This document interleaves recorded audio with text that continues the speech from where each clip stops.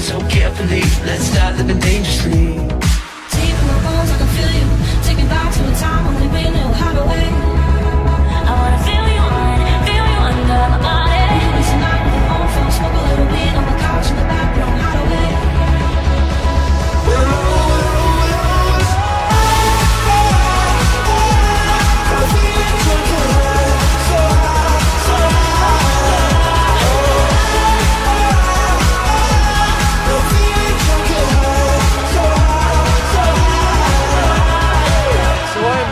than I have ever been. Can't keep my hands to myself.